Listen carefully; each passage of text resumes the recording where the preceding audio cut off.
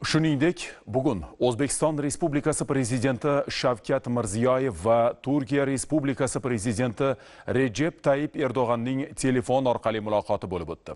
Suhbat avvalida davlat rahbarlari Ramazon hayiti munosabati bilan bir-birlarini samimiy qutladilar. Ushbu muqaddas ayyomning barcha musulmonlar uchun alohida ahamiyatga ega ekanini qayd etib, birodar xalqlarimizga tinchlik, osoyishtalik, farovonlik va ravnaq tilaklarini izhor qildilar.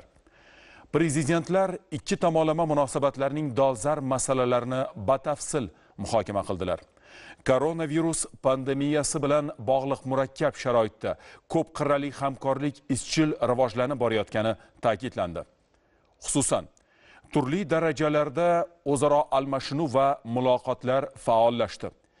Joriy yil boshidan tovar ayirboshlash 40 foizga ortdi. 164 ta yangi qo'shma korxona tashkil etildi. Hududlar o'rtasida hamkorlik yo'lga qo'yilmoqda. Samarqand shahrida Turkiya konsulligi o'z ishini boshladi. Qo'shma madaniy gumanitar dasturlar, shu jumladan ta'lim, kinematografiya va sport sohalarida amalga oshirilmoqda.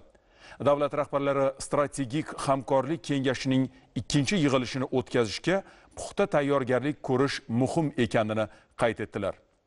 Shu maqsadda kelgusi oyda Toshkent shahrida savdo-iqtisodiy hamkorlik bo'yicha hukumatlararo komissiyaning navbatdagi yig'ilishi hamda biznes forum o'tkaziladi. Bundan tashqari sanoat, energetika, qishloq xo'jaligi, infratuzilma, transport, turizm, sog'liqni saqlash va boshqa sohalarda qo'shma investitsiya loyihalarini amalga oshirishning borishi ko'rib chiqildi. Telefon muloqoti chog'ida yetakchilar xalqaro siyosat masalalari yuzasidan fikr almashdilar.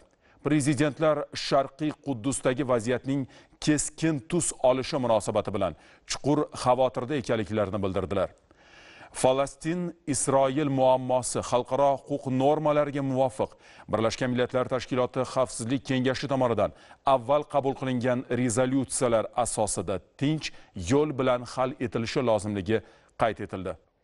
Turkiy kengash, iqtisodiy hamkorlik tashkiloti, islom hamkorlik tashkiloti va boshqa tuzilmalar doirasidagi hamkorlikka alohida e'tibor qaratildi.